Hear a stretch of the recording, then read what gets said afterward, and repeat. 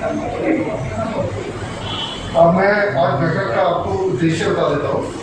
अच्छा मंत्री जी आगे मेडिसिन है और आप लोग में से काफ़ी हॉस्पिटल का उपयोग कर रहे हैं। आप संभवतः सभी लोग कर रहे हैं।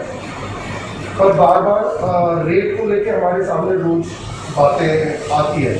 There is a very rate ranging from zero in my government hospital to nine thousand five hundred my hospital to private hospital to 12,500 to 18,000 to 19,000 to 25,000. So there is a varied uh, market thing and uh, लोग थोड़ा परेशान भी होते हैं तो उस दृष्टि से इवन गवर्नमेंट वांटेड की भी कम regulate a common sort of price so that आप लोगों का लॉस ना हो और uh, जो पेशेंट है उसका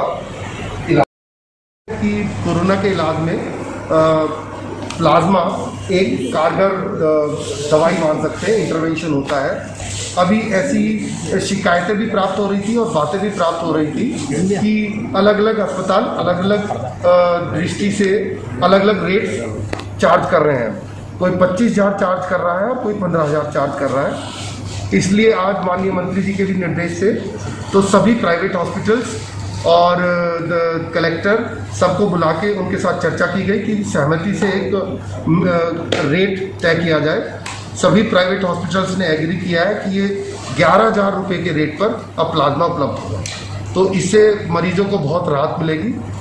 सरकारी जो अभी प्लाज्मा का रेट है, हम साढ़े नौ हज़ार रुपये में देते हैं। अगर प्राइवेट हॉस्पिटल वाला लेता है और सरकारी हमारे जो हॉस्पिटल्स है, उसमें हम फ्री में करते हैं। इसको भी हम कोशिश करेंगे, अभी आज शाम तक निर्णय लेके इसको भी हम कम कर देंगे। तो सरकारी से प्राइवेट में जाने वाला रेट हम कम करेंगे, शाम तक आपको उसकी सूचना दे देंगे, और प्राइवेट में ग्यारह हज़ार रेट हो जाएगा तो जो लोगों को पच्चीस हज़ार लगता था, उसके जगह ग्यारह हज़ार में इसमें